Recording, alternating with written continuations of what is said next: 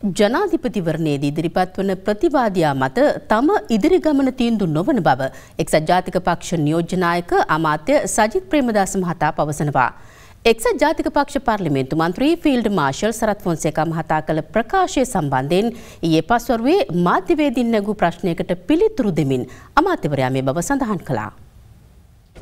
එක්සත් ජාතක පෙරමුණු පක්ෂනායක රැස්වීමක් ඊයේ පස්සරුවේ අග්‍රාමාත්‍ය රනිල් වික්‍රමසිංහ මහතාගේ ප්‍රධානත්වයෙන් අරලියගහ මන්දිරයේදී පැවැත්වුණා. අපි අද සාකච්ඡා කරේ බිම්මට්ටමේ සංවිධාන වැඩ පිළිවෙල විශේෂෙන්ම ග්‍රාමීය මට්ටමේ කොට්ටාස මට්ටමේ සියලුම සංවිධාන ඒකරාශය කරගෙන ශක්තිමත් දේශපාලන ගමනක් ඉදිරියට ක්‍රියාත්ම කරන්නේ කොයි ආකාරයටද කියන ගැන ක්‍රමෝපායන් ක්‍රමවේද ගැන අපි සාකච්ඡා කර. පොන්සේකමත්තුමා දැඩි වේචනයක් කරලා තියෙනවා. අපේ රටේ කතා කිරීමේ නිදහස තියෙනවා.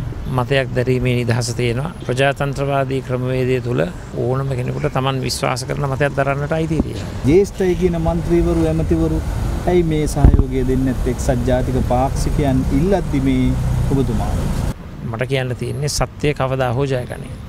එතකොට එක්සත් ජාති පක්ෂයෙන් ජනාධිපතිවරණ අපේක්ෂකේ තෝරගෙන ඉන්නවා දැන් මෙයා හොඳයි කියලා එහෙම ඒ හැම දෙයක්ම ඉදිරියට එලි දැක්වේ. කොට අපේ රාජපක්ෂ මැතිතුමා ඔබතුමාට යම් කිසි ආකාර අභියෝගයක් වෙයිද කොහොමද? ඇත්ත වශයෙන්ම අපේ ඉදිරි ගමන තීන්දුව වෙන්නේ අපේ ප්‍රතිපත්ති, අපේ දර්ශනය, අපේ වැඩපිළිවෙල, අපේ ප්‍රතිවාදීන්ගේ පැත්තෙන් අහවලා ඉදිරිපත් වෙනවද? මේ පුද්ගලයා ඉදිරිපත් වෙනවද? ඒක අපේ දේශපාලන ගමනට සැලකිය යුතු සාධකයක් නොවේ.